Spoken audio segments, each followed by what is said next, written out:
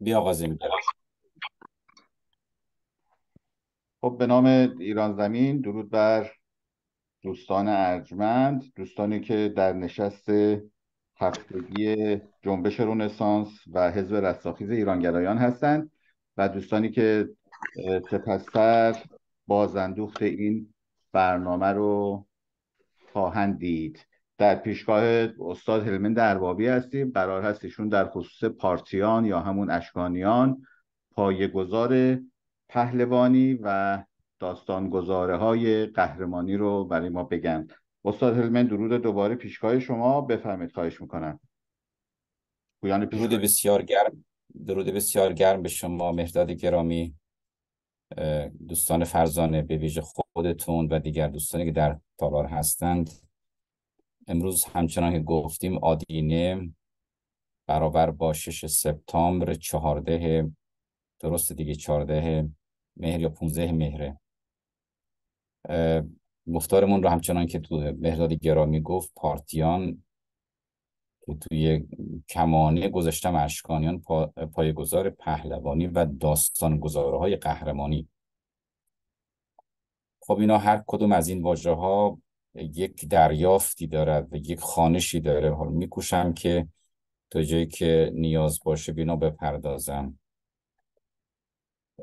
نخست یه پیش سخنی دارم و این پیش سخن رو من امیدوارم که در هر گفتاری که دارم باز بگویم.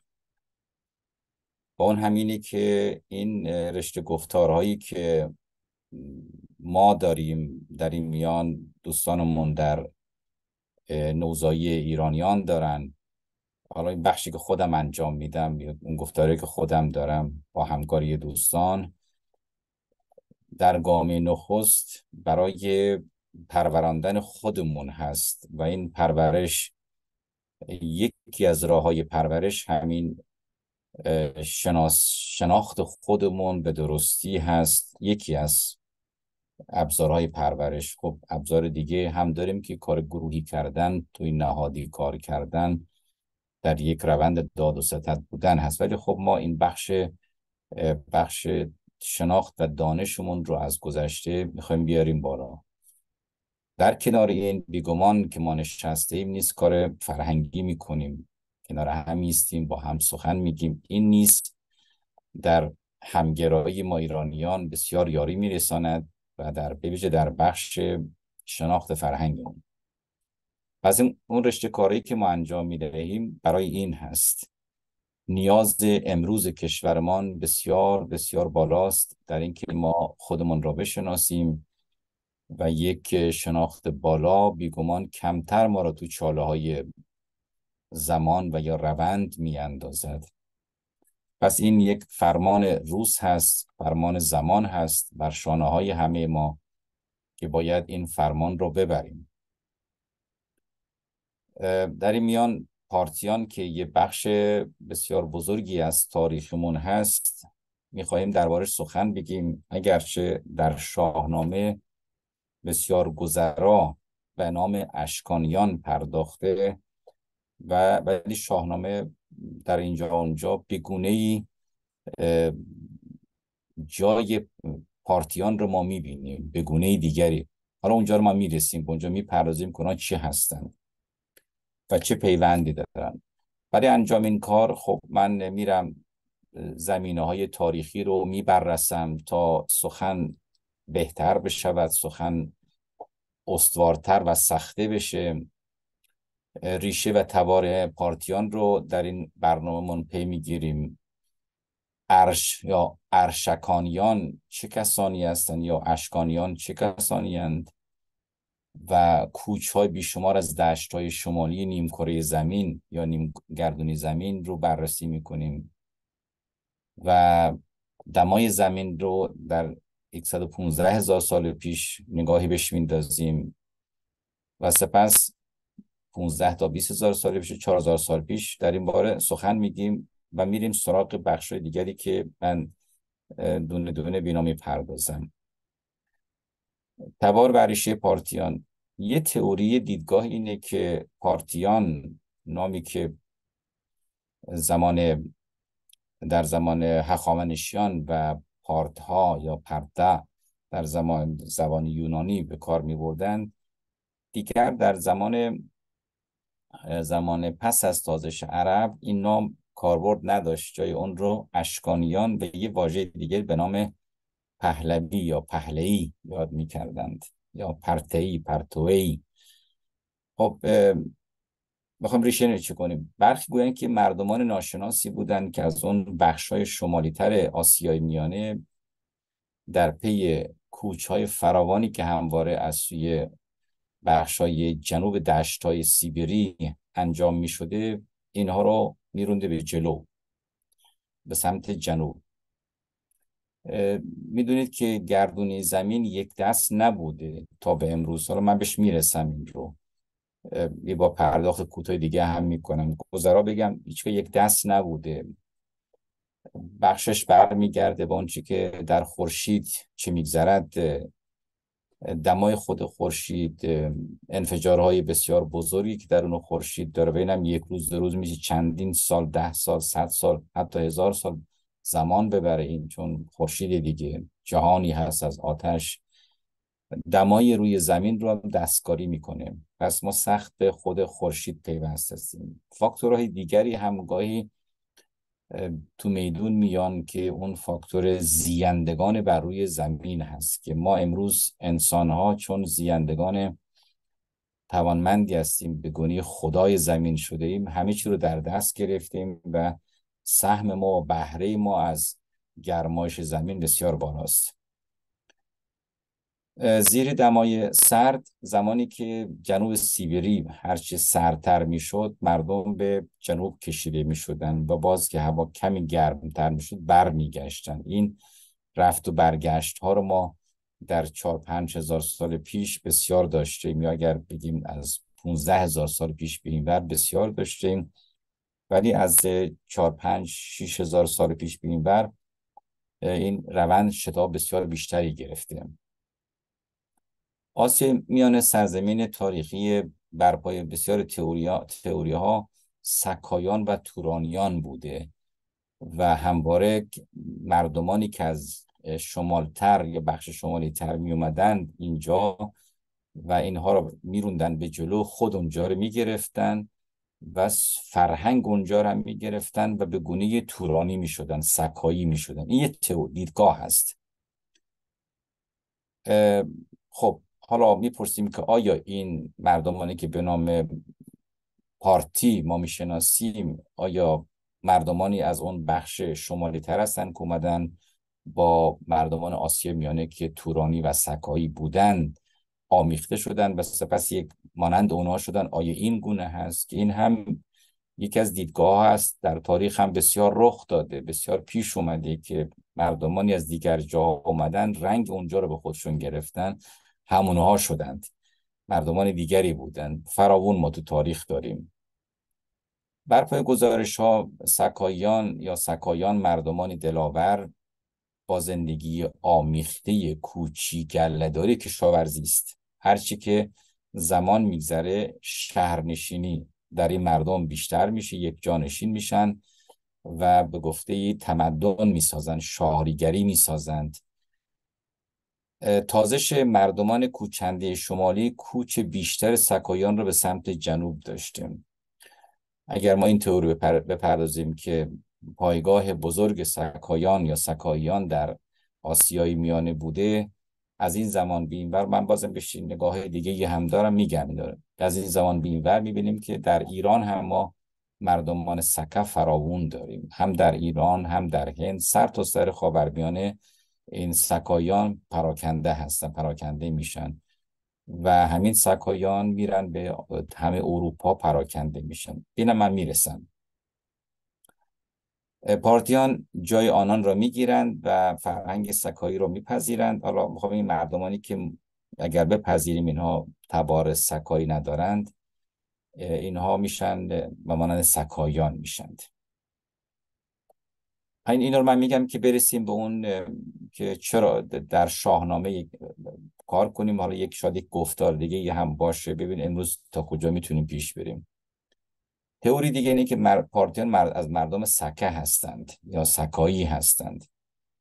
سکایان چون ساختار کوچی گلهداری و اسبداری داشتن بسیار توانمند بودن دلاور بودن و دوستان نداشتن که یک جانشین بشن دوستان آزاد باشن. بسیار در سر تا سر جهان به ویژه از از بخش بیابان گوبی بخش باختر چین سکایان در سر تا سر اروپا اگر نگیم تا آفریقا بلکه می‌تونیم از آسیا و آسیا و اروپا به ویژه اروپا پراکنده میشن. سر تا سر اینجا.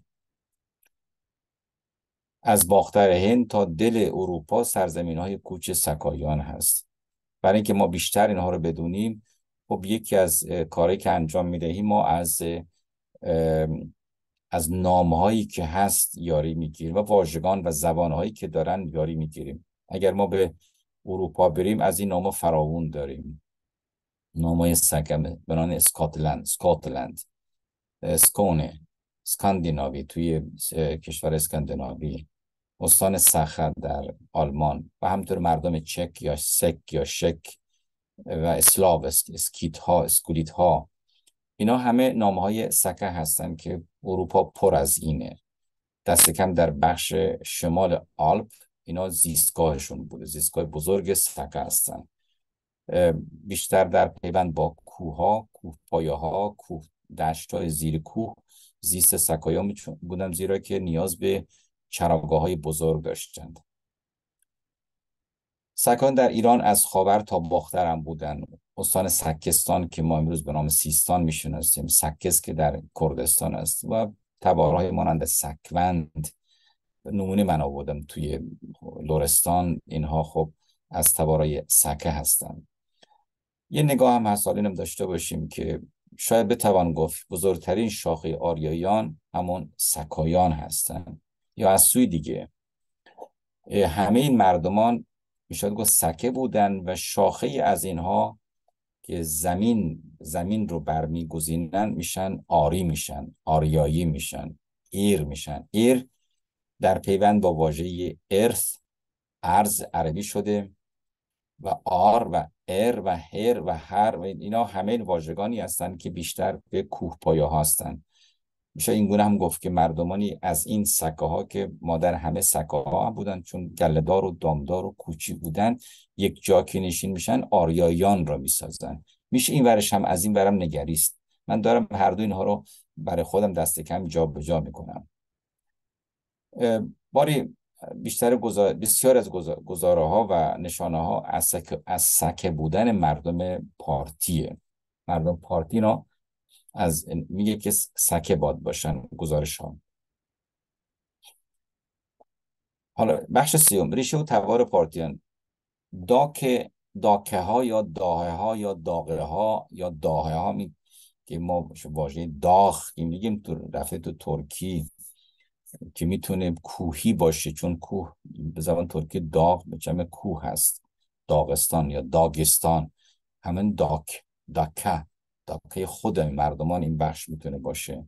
که خب این واژه ها سپس که مردمان منگول و از بخش پایین تر اومدن و زبان ترکی رو گسترش دادن این واژه هم تو اونها رفته و ساختار ترکی به خودش گرفته که چونی نیست. پارسی است. باریم داک، داکه ها یا داهه ها در شمال خراسان گرگان و, و نزدیک دریاچه اورال از دیرگاه میزیستند. دریاچه اورال به بالاتر خارزم که میرسون دریاچه اورال به سخن دیگه میان دریاچه مازندران یا کاسپین و اورال و از اون برم بریم تا زیر تا بخش های آمودریا اینها. دون زیستگاه بیشتر داهه ها بود. کوچ های مردم شمالی از 3500 تا 4000 سال پیش زمینه جابجایی بیشتر مردم در آسیا میانه میشه چی شده اینجا؟ گزارش هست که در 4000 سال پیش گرم میشه یا به سخن دیگر دوباره این بخش از زمین گرم میشه و این گرما زمینه جابجایی رو بیشتر می‌کنه.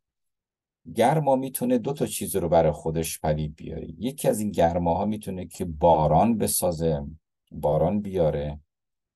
و یک گرما دیگه که بارون نباره. زمانی که بارون نمیباره ده سال 20 سال سی سال بارون بسیار کم میباره. خود چراگاه ها میخشکن و زمینه کوچ میشه. ما داریم در 4000 سال پیش دمایی به مانند همین دمایی که اکنون ما داریم داشتن. ده سال بوده پنجاه سال بوده صد سال دما گرما بالا بوده و باران کمتر. یا باران جاهای دیگه میباره ولی اونجا کمتر میباریده و این زمینه کوچ میشه. اگر اکنون ما بنگریم به تاریخ اکنون بنگریم که یه دمایی مانند اکنون زمینه کوچ رو بسیار برده بالا. ایران گرم شده می‌بینه همه کشورهای عربی اونا گرم شدن. دماشون 60 درجه 70 درجه کویت رو نشون می‌داد پارسال به امسال. و گرمترین تابستون رو دست کم در سال سی چل سالی که بشر یا برخی میگه تا 300 سالی که بشر تونسته دما رو به سبر 300 سال ما داشتیم امسال. و می‌بینیم که کوچهای بسیار فراوانی داره رخ میده از به از آفریقا و از آسیا. خب این البته که چه چیزی زمینه این دمای بالا شده برمیگرده به فاکتورهای گونه ولی انسان سهم بالایی داره ولی که اکنون انسان ارباب جهان شده سرور جهان شده و هر چی که دلش بخواد داره کار می‌کنه و خونی خودش رو ویران می‌کنه آتش زده به خونی خودش. این انسان. در خورشید چی میگذردم نمی‌دونم. حالا اینجا هم آیه دمای خورشید هم درش کنش واکنش های بالای تندی انجام میشه طوفان های بزرگی بر روی بر روی سینی خورشید رخ میده که ما هم از اون گرما می‌گیریم. من نشیدم گزارش حالا دوستان دیگر اگر گزارش شنیده باشن بگن. ولی به هر روی گویند که این انسان اکنون پژوهشگران دانشمندان گویند که بهرهوری بیش از اندازه انسان از زمین این هر چی که زیر زمین داشته فسیل ها یا سنگواره هایی که یا نفت هستن یا زغال هستن یا گاز همین داره می‌کشن بیرون و میسوزونن. و اینها رفته توی در سپهر آسمان رفته و جلو اندازه گاز کربونیک رو بسیار برده بالا جلو خورشید رو که مانند اون گلخانه ای ساختار گلخانه ای رو پدید آورده. باری خواستم یادآوری کنم که اکنون هم یه چنین زمانی هست می شود این کوچ ها رو به گونه فهمید که چرا این همه کوچ فراوان داریم. روزی نیست که ده ها کس توی دریای میترانه کشته نمیشن. گویند که این پارتیان از یک تبار به نام پرنی از شاخه از همین داهه ها یا داکه ها یا داگه ها هستن که پارتیان خودشون از اون تبار می‌دونستن. و سپس خودشون از سکایی هم می‌دونستن و حالا می‌رسیم که این سکایی که میگیم چون پارتیان خودشون رو بگونه ای از تبار رستم می‌دونستن. رستم رو چون می رستم رستم سکایی هست سکه هست پهلوان و در یک نگاه پدر بسیاری از داستانهای پهلوانی رو در تاریخ ایران می‌سازه. در تاریخ اسطوره ایران کی رستم خاندان رستم می‌سازه.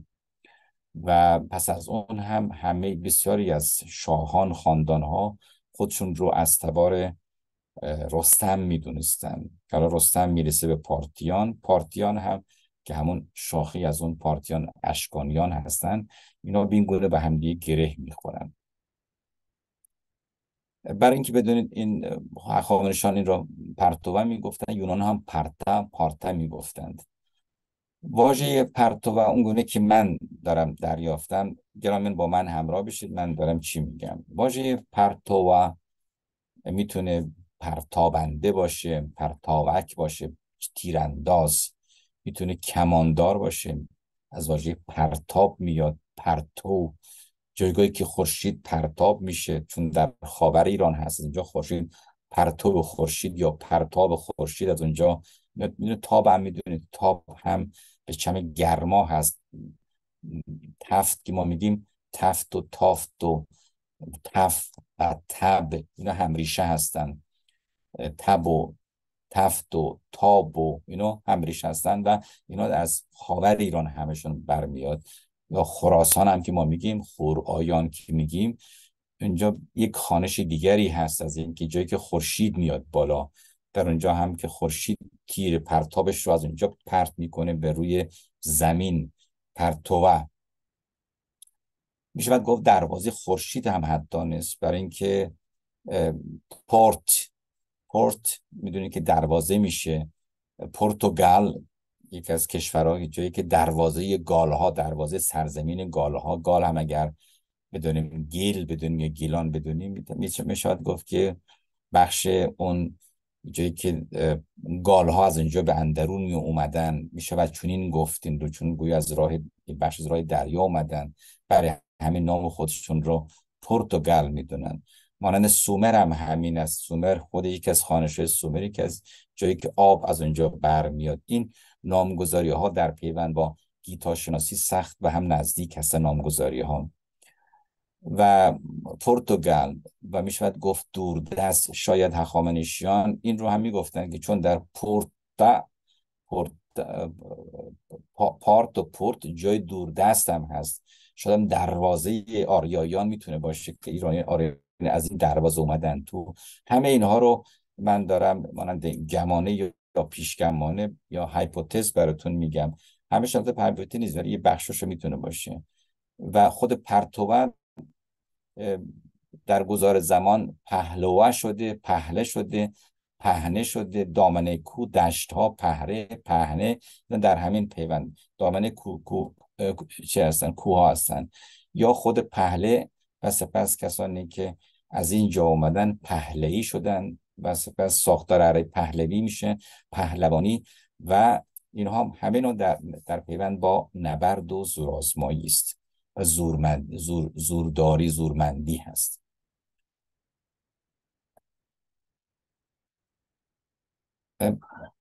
پارتیان یا اشکانیان در شاهنامه. در شاهنامه ما واژه به نام پارتیان نداریم. بلکه به جای اون واژه های دیگری اومده. یا اشکانیان هست یا پهلوی پهلو پهلو پهلوانی.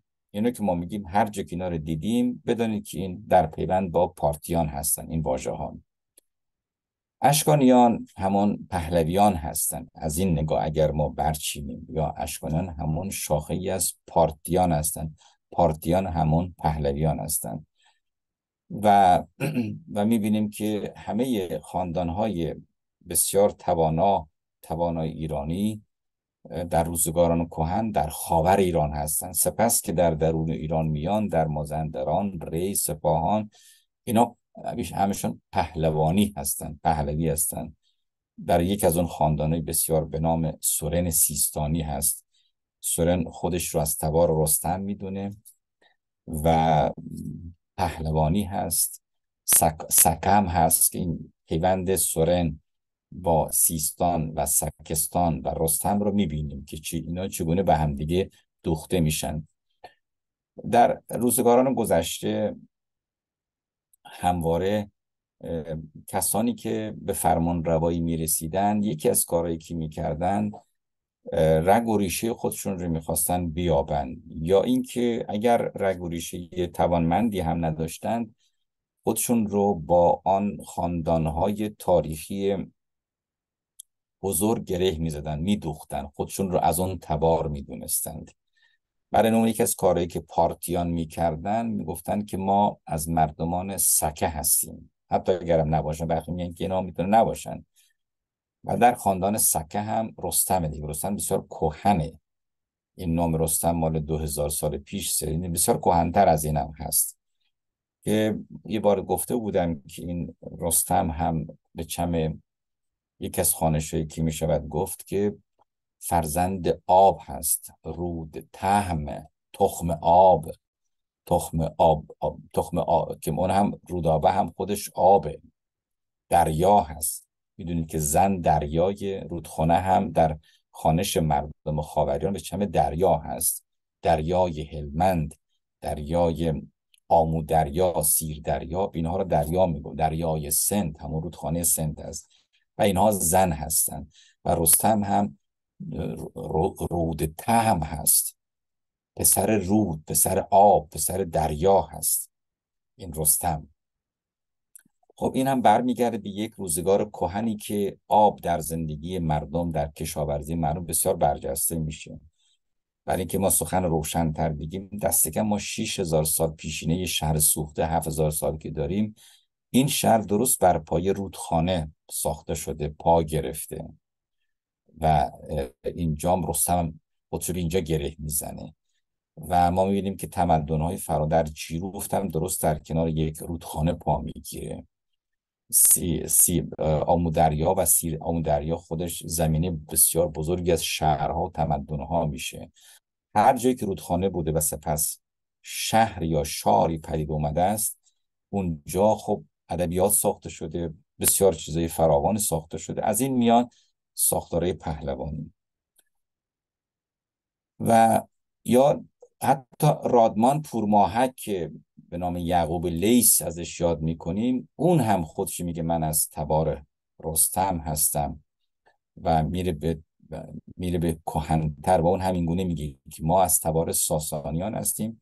ساسانیان هم میگن ما از تبار کیانیان هستیم.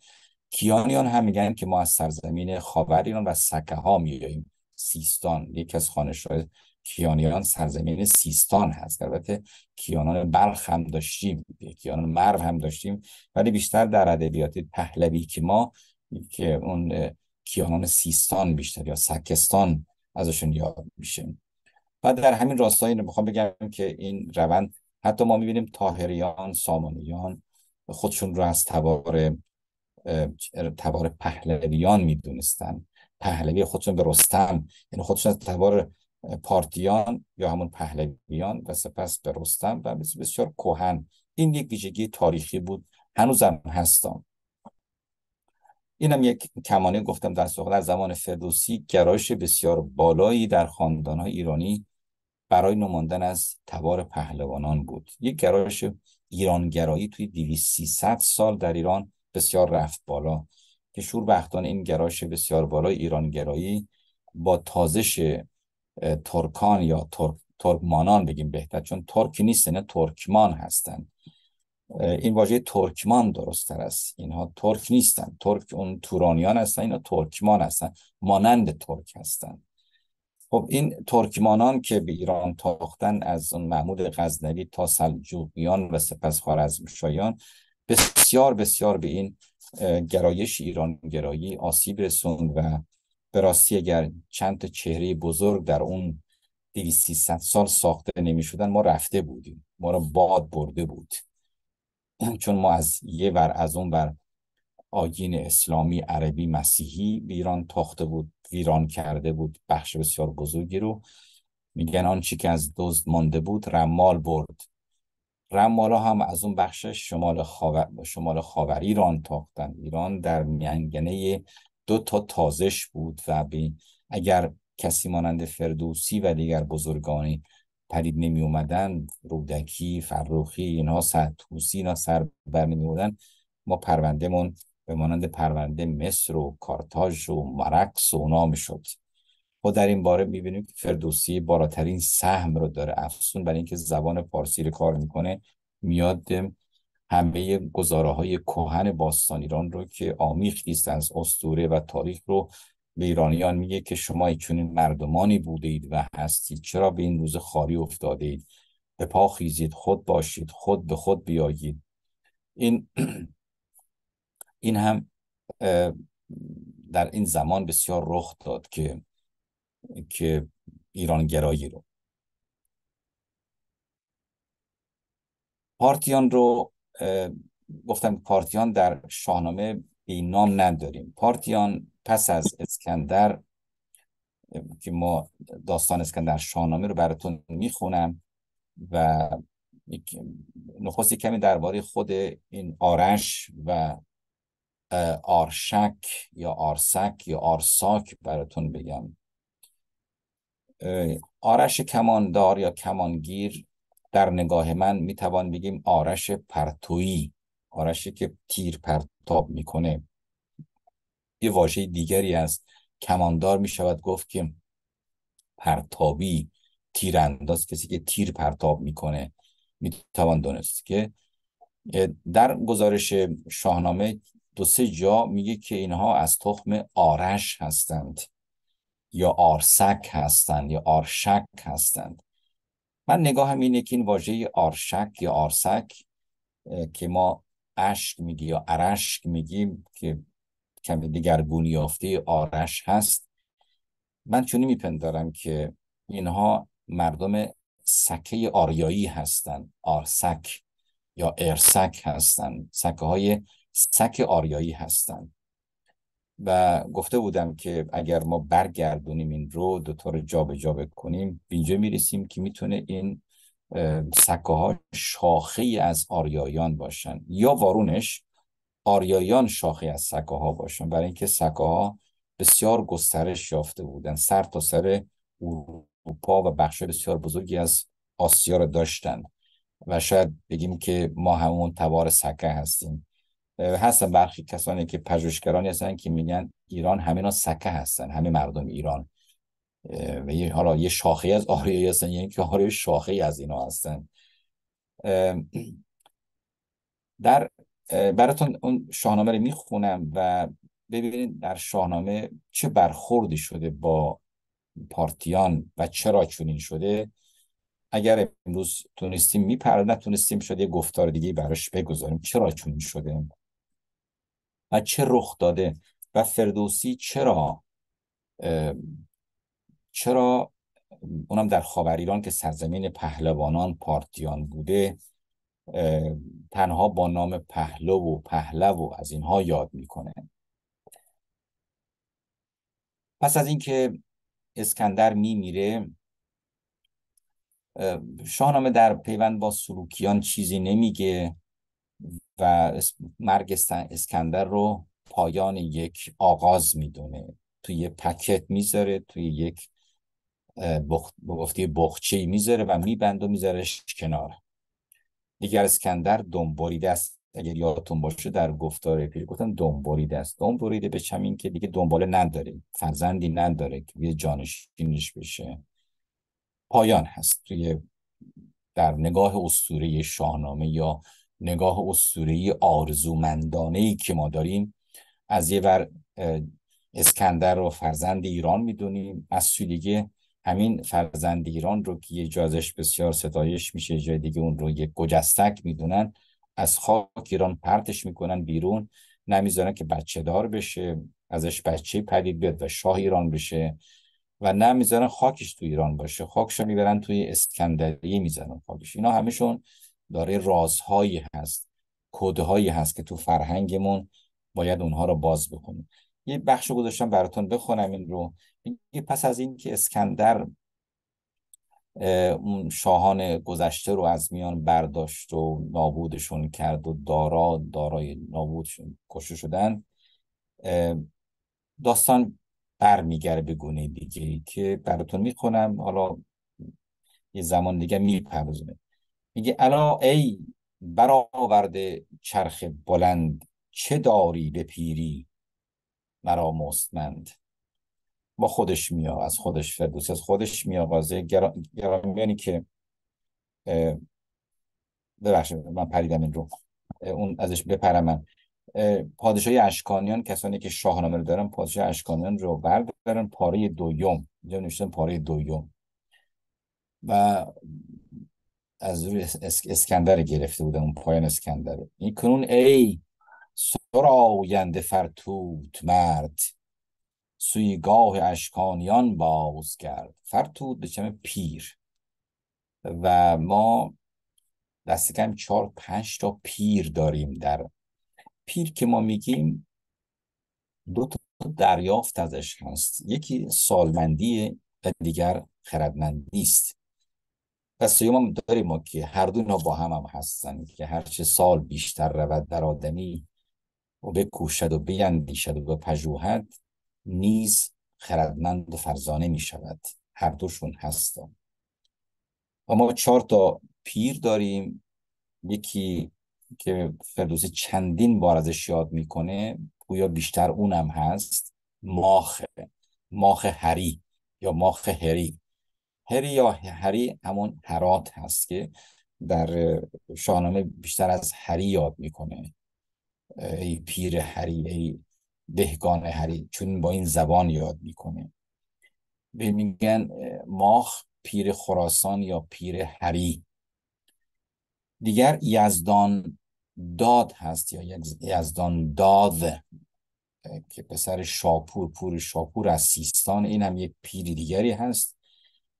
و دیگر شاهوی خورشید یا شاهوی خورشید پور بهرام شاهوی خورشید پور بهرام از نیشابور سیوم.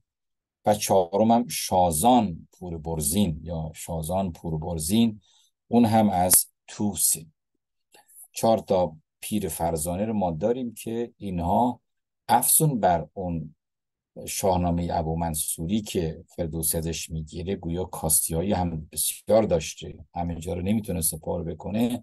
از گزارش های این هم یاری می‌گیره و و نیز از بزرگان پیران هم یاره از این پیران چهار تا هستن که برشمونه که ماخ هری دیگر یزدان داد پور شاپور شاهوی خورشید پوی پور بهرام و شازان پور برزین.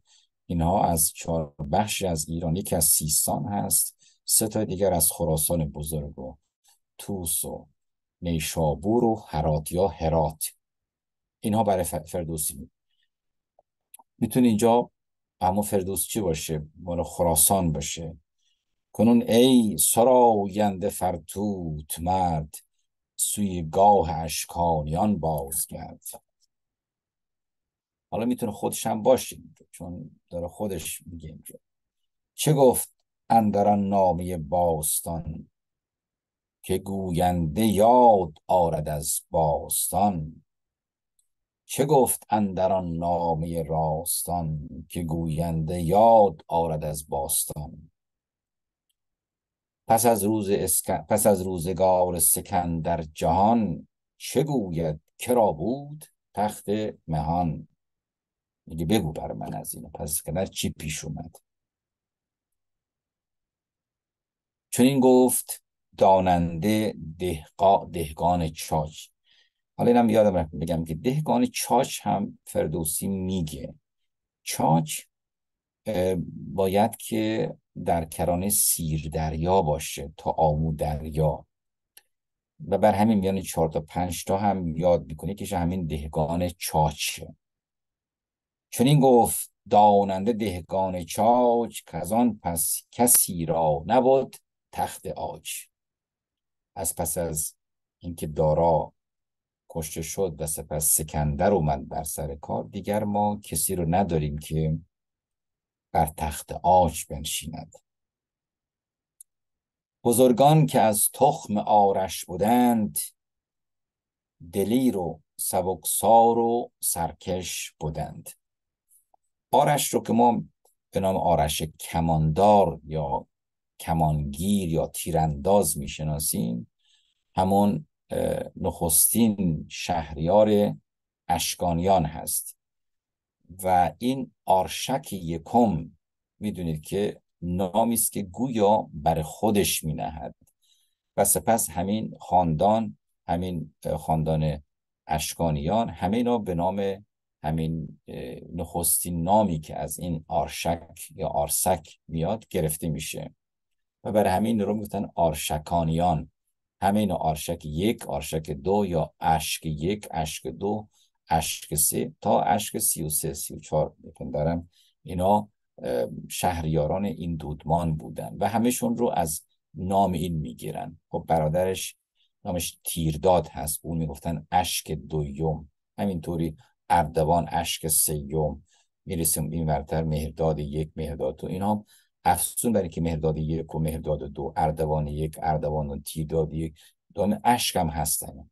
اشک 15 اشک 16 این سبکی از نامگذاری رو ما تنها در در اشکانیان داریم که این نام نخستین شهریارشون که اون هم من میپندارم یک نام برنامی هست برگزیده نامی هست. تا پایان همه با خودشون داشتن. اشکانیان. نداریم در دیگر بخشای تاریخ ما نداریم. نامه بوده است که خسرو اومده. یک دو تا خسرو اومدن سپس دیگر شاهان نامه های خودشون رو داشتن.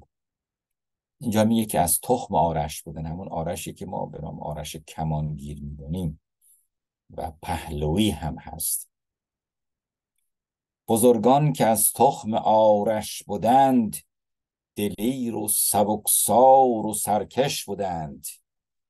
اینا خب همشون دلاورن دیگه تیرانداز و جنگ جنگاور همشون اینا از ویژگی گفتم که سکه بودن سکه هم بسیار دلاور و جنگاور بودند. بگیتی به هر گوشه بر یکی. گرفته ز هر کشوری اندکی. فراون بودند این فرزندان آرش یا تبار آرش یا پهلوانان. اینجا اونجا هر کسی برای خودش یک پادشاهی داشت. ارمنستان یکی ری یکی دیگه. و این سامانه سامانه چند پادشاهی تا دیرگاهان بود. سپس مهرداد یک و دو هم کومدن نتونستن اون گونه سر و سامان بدن و همه رو یک دست بکنن. باز هم شاهان کوچک داشتیم. و میشه بود اگر نگیم همه بیشتر شاهان هم همشون شاهان اشکانی بودند. فرزندان اشکانیان یا از تیری اشکانیان بودند پارتی بودند چو بر تختشان شاد بنشاندند ملوک توایف همی خواندند اینا می‌گفتن ملوک توایف هر طایفه یک پادشاهی داشت. ملوک توایف هم برش کرده. به پارسی می شود تبارشاهی. هر تباری هر تیره برای خودش یک شاهی داشته یا تیره شاهی یا تبارشاهی برابر ملوک توایفی یا ملوک توایفی بر این گونه بگذشت سالی دویست. تو گفتی که اندر زمین شاه نیست. حتی شاه هم بینه نمیگه که بگونه ملک. یه چیزی عربی, عربی گونه واژه عربی. نکردند یاد این از آن آن از این. براسود یک چند روی زمین. گویا آرامش بوده دیگه ولی خب آرامش نبوده جنگ فراون بوده. سکندر سگالید زینگونه روی که تا روم آباد ماند. ببخشید یه بار دیگه. سکندر سگالید زینگونه رای. چون این رای رو برچید که پخش بکنه. قدرت رو در میان دولت های کوچک و این دولت های کوچک اون توان رو نیابن که امپراتوری بزرگی بشن که رو در روی روم به گفته شاهنامه یا یونان اون زمان بیستن.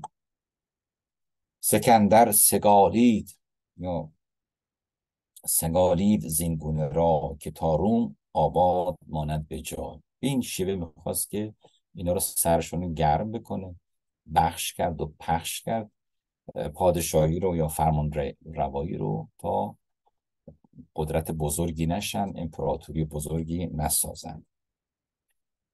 نخست اشک بود از نژاد قباد. اشک از نژاد قباد. دگر گرد شاپور خسرو نژاد. نام ها دیگه این خسرو نژاد می‌بینید اینجا خسرو هم داریم قباد هم داریم اینا نام های فراوانی که در زمان پارتیان یا اشکانیان بودن. بسیار از این نام ها رو هم ساسانیان می‌گیرن با خودشون. برای اینکه ساسانیان بیگونی با هم آمیخته بودن. اون جنگ پسین هم که انجام میشه خب از این جنگ هم تو خانوادن پیش میاد. ولی آنچنان با هم درگیری نداشتن. پی هم اومدن این دوتا خاندان. ز یک دست گودرز اشکانیان چو بیژن که بود از نژاد کیان داره نام شاهان رو نام فرمان روان رو میگه.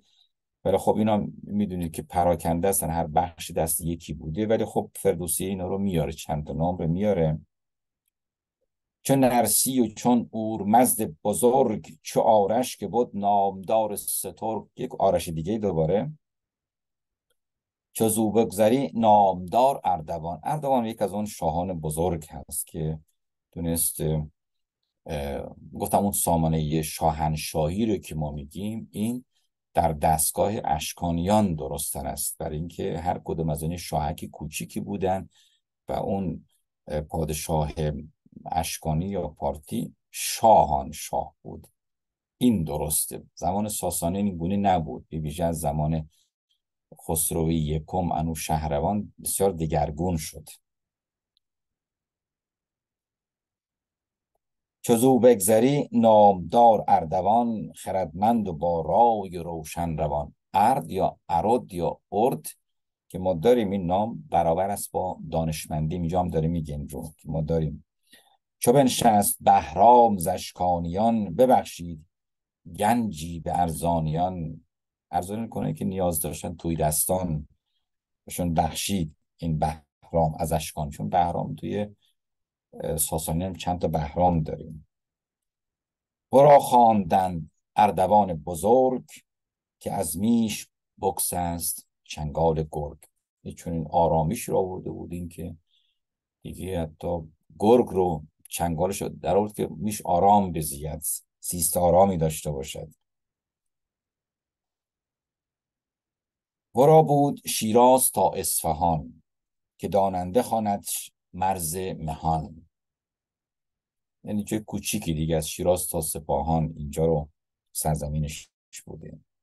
به استخر بود. داستان دیگه، اکنون دیگه داستان چیز دیگه میشه. به استخر بود. بابک از دست اوی از دست اردوان. اردوان پنجم. پس این پادشاه اشکانیان است. به استخر بود. بابک از دست اوی که تنین خروشان بود از شست تنین به چمه مار بزرگ مار پهن رو تنین اجده ها رو گویند از دست شست هم می‌دونید که انسان می‌دونید که شست در انسان یه ویژگی دارد که او رو از دیگر زیندگان جدا می‌کنه و این اون بخش گیرنده ما شست بسیار بالاست گیرندگیش بسیار بالاست. برای همین ما شست که میگیم نشان توانمندی است. نیرومندی ما هم هست و به درستی هم هست. نزدیکترین جانوانی که به ما هستن بوزینگانن. بوزینگان هم شست دارن ولی شستشون به گونه نیست که بتونه مانند ما که این گونه بیاد از جا تو هم نزدیکش این گونه بگیره. این گونه میشن ما. این گونه بوزینگان این گونه می‌گیرن. شست میاد بیرون ولی ما شست میشینه روی انگشتان دیگه مون و بر همین شست جایگاه بسیار بالایی داره توی در پیشرفت بشر. چو کوتاه شد شاخ و بی هم بیخشان نگوید جهاندار تاریخشان. اشکانیان رو میگه که این اردوان دیگه پایانشه. که از ایشان جز از نام نشنیدم. نه در نامه خسروان دیدم حتی در نامه خسرو نامی از آن نیومده. اشکانیان رو میگه. سکندر چون امید گشت از جهان بیافکند رایی میان مهان. یه چون همین رایی که این اندیشه کرد. بدان تا نگیرد کس از روم یاد یک تخم پراکندگی و تخم همین پراکندگی اکنون ما داریم ما. اهریمن دیگه. گوجستک بود سکندر. یک اهریمن بود. تخم پراکندگی رو پاشون تو کشور رو رفت. اکنون همین می‌تونه یک از فاکتورات تخم پراکندگی اهریمن در کشور پاشون بدان تا نگیرد کس از روم یاد بماند مران کشور آباد و شاد. اینا با هم درگیر بشن پراکندگی تخم پراکندگی. و کسی کاری به ایران نداشته باشه چون اگر ایران بزرگ بشه برای روم بسیار خطرم هست. این همون تئوری که هنوز هم بسیاری از کشورهای باختر زمین نگرانش هستن. که ایرانیان اگر برشون میدون گشوده بشه جلوش رو نگیریم اینها همواره سر بر می آورن برای نمونه خود محمد رضا شاه آریا مهر رو یکی از چیزش این بود نگران بود که گزارش ها بیشتر اومده. حتی کارتر هم تازه گفته بوده کار شاه نیروی رزمی و ارتشیش بسیار بالا رفته و بسیار نگران کننده بود.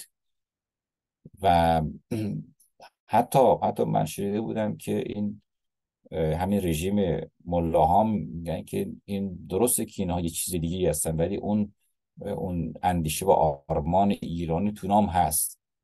و می‌گفت این احمدی نژاد اون پشکلی هست ولی می‌گفت اون به جان ایران رو با خودش داره یک کمی. برای همین نگران نگران هستن بودن که. برای همین میگن خب باشه کشور اونجا باشه طورش دستکاریش هم نکنه. برای همین نادانان بر اون کشور باشن. بهترم کاری که سکندر کرد پس از خودش. بر شاهنامه که شاهنامه میشه گفت که چقدر نزدیکی با نگاهی که امروزی که ما داریم. بدان تا نگیرد کس از روم یاد. هست که با هم درگیر بشن و با هم بیامیزن دیگه یادی از روم نکنن. بماند مران کشور آباد و شاد. بله. اگه با هم گرفتار با هم روم هم آباد است. چو دانا بود بر زمین شهریار چون این آورد دانش شاه بار. حالا این برای ما که نبود این سکندر برای روم بوده میگین چون هوشیار هست چون این برنامه میچینه و برنامهش هم بار میده. بارش هم چیه؟ بارش هم اینه که ایران شاهان ایرانی مهان ایرانی پراکنده باشن با هم درگیر بشن به جای اینکه یک امپراتوری بزرگی بسازن چون این پراکندگی. و این برای خود کشور خوبه برای ما که خوبه برای ما که زیان بوده است و زهر بوده است. پایان گفته امروز گرامیان. من یه بار دیگه بگم که در شاهنامه یه بخش بسیار کوتاهی اون هم درباره اردوان پنجم و نبردی که اردوان پنجم با اردشیر می‌کنه اردشیر بابکان یا پاپکان. گزارش کوتاهی است بیشترم جنگ و سپس هم پیروزی و به گونه از ساسانیان است. اگرچه تو شاهنامه پادشاهی اشکانیان گذاشته است ولی همشون ساسانیان است گویی. و باری در, در شاهنامه بسیار کم درباره اشکانیان گفته. بود دیویس سال هم زمان فرمان رواج. چون نیست که 475 سال برآورد کردن زمان ارشک نخست یا اشک نخست تا پس این اردوان پنجم یه چونی نزدیک 500 سال برآورد کردن ولی فردوسی 200 سال رو می‌دونه. و در این 200 سال هم شاهان شاهک کوچیک اینجا اونجا پراکنده بودن. هر بخشی برای خودش یه شای داشت و سرشون گرم بوده و گفتشون آسوده بودند. زمین بر آسودی یک چند روی زمین که هر کسی ملوک و توایفی دیگه چیزی که فدرال هایی که هست کوچولوی که در زمان آلمان بود فدرال کوچیک آلمان سپس کنفدرال شد. بعد در اون زمان هم ایران هم چونی شده بود و یکی از تئوری های کسانی که در جنوب ایران بودند و استان پارس شیراز رو پارس و کرمان و خوزستان در دست داشتن. یه دولت بزرگی بود ولی زیر فرمان اشکانیان. اونها رنج می بردن از این کشور در و پیکر نداره سر و سامان نداره. آنگونه که زمان هخامنشیان بود اینا خوب اون هخامنشیان رو با خودشون داشتن.